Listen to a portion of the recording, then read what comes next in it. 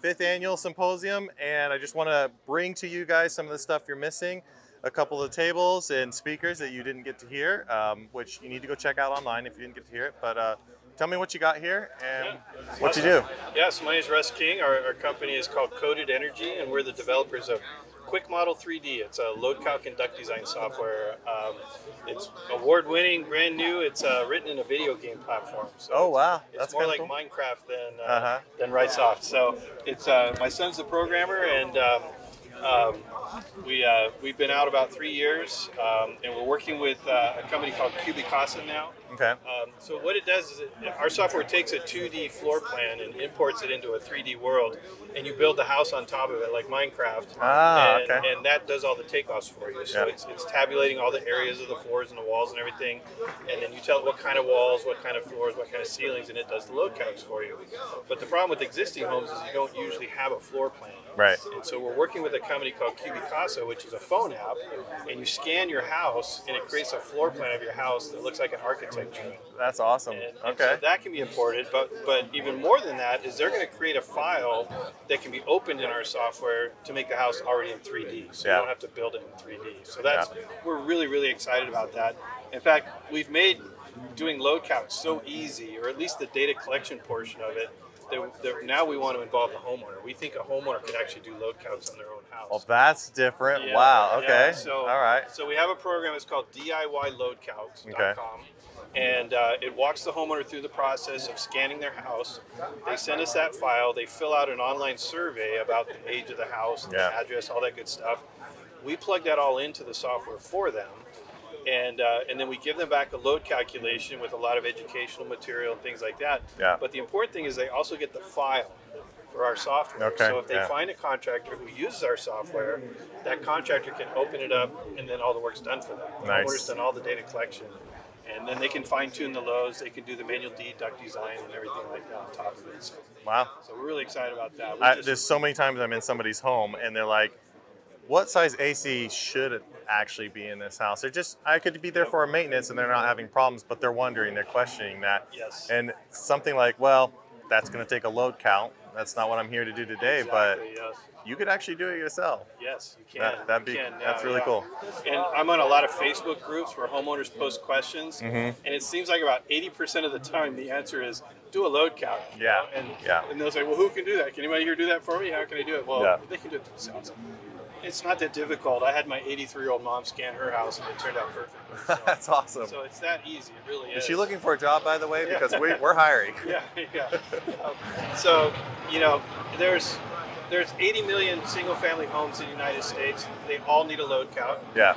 At the rate we're going, they're never going to get done. Yeah. And you know, there's situations where you got three or four contractors bidding on one job. Technically, they should all be doing a load count. Right. But on the same house, that's a that's a horrible waste of energy and a waste of time. Sure. And that's one of the main reasons they don't do it because they realize it's a waste of time.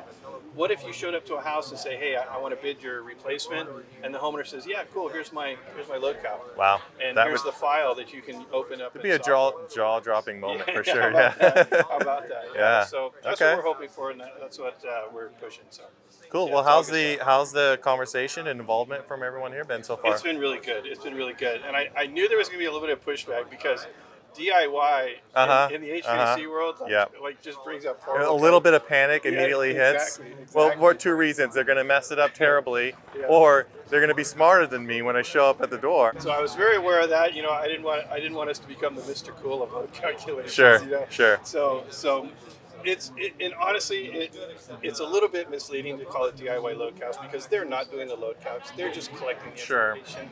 They're giving it back Right. to us, and that's certainly something they can do. Yeah. Um, and I review a lot of load counts for, for programs and rebate programs and stuff like that. And some of the stuff I see, Yeah. it's not a very high bar to, to, to surpass. Uh, the other thing I was going to ask is uh, if you had like a um, maybe a, a practical point from the talk that you gave, um, um, or anything for technicians to take away. Yeah, so I gave I actually gave two presentations. One one was on heat pumps. We called it the how to avoid the heat pump revolt of 2026. Okay. And so the important thing there is, is two load calculations. Yeah. You know, if you don't have load calculations, you're not measuring. Right. And you know, I've, I've resorted to shaming contractors. to do load cal- I've begged them, I've asked them, I've pleaded with them. I've Now- tried to now we're them. reaching I'm shaming. Yeah. This Yeah. is so easy now. Yes, Yeah. yes. So, so what I say is, uh, you know, if you're a professional um, carpenter, the, the, the saying is measure twice, cut once. Yeah. Right. Well, Yeah. I'm not a professional carpenter, so I'll measure once. Mm-hmm. And I usually end up cutting twice. Right. Okay. Uh-huh. But if you're not doing load calculations on a house, you're not measuring at all. Yeah. You're guessing. Yeah. And how can you call yourself a professional if Right. you're not even measuring? You're just 500 square feet per ton. You know. This worked for the last guy. Right, exactly, Yeah. exactly. So I, I think I think it's time that our industry you know, gets with it and, and does what's right. It's good. something that you've said a lot when you were talking about heat pumps is uh, a lot of people really didn't like heat pumps when they first came out, but that's because we were doing a lot of the measurements uh, incorrectly. And, uh, Yeah. Right. A lot more prone if you're. All, all the bad They got a things, bad rep. All the bad Yeah. things you hear about heat pumps is not an equipment problem; it's an installation problem. Yeah. It's a design problem and an installation problem. It's the installer's fault. It's not the Yeah. equipment's fault. And that's because they weren't doing load counts. They weren't they weren't measuring. So, Yeah. It's good. 100%. Well, I appreciate you uh, coming out, not only uh, helping support what we do, but also giving back with education and teaching us. And glad to have you. It's my pleasure. This is a great great event, and everything you guys do is just fantastic. I really appreciate it. Thanks. Awesome. Thanks for watching. If you're willing, give this video a thumbs up and drop us a comment. Don't forget to hit that bell icon to stay updated with all of our future videos. And as a quick reminder, HVAC School isn't just a YouTube channel. Dive deeper with us at our main website, hvacrschool.com. Curious for more knowledge on the go? We've got you covered. Tune into the HVAC School podcast, available on all your favorite podcast apps. And while you're at it, join our thriving Facebook group. Also, don't miss out on our free mobile applications available for both iPhone and Android. We're all about community. Vortex by Tex.